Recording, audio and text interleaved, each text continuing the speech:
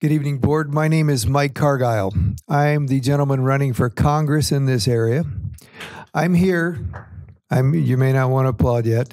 I'm here because last session you removed a couple of my patriot parents, and that's not acceptable. You know, we teach our kids to think for themselves right? We say things like, if all your friends are going to march over the edge of that cliff, are you going to join them? Mm-hmm. And yet, that's exactly what you're doing here. Exactly.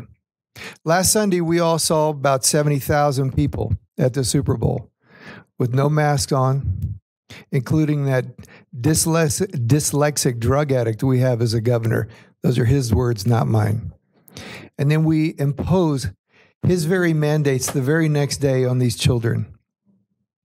That makes you the people we warn our children about.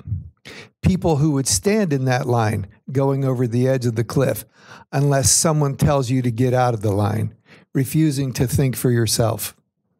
That's unacceptable. And that makes you disqualified for the seats you now occupy.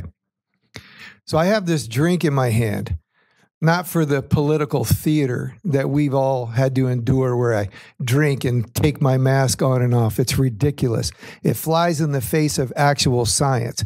It's political theater. I'm here with this drink in my hand to propose a toast with my fellow patriots.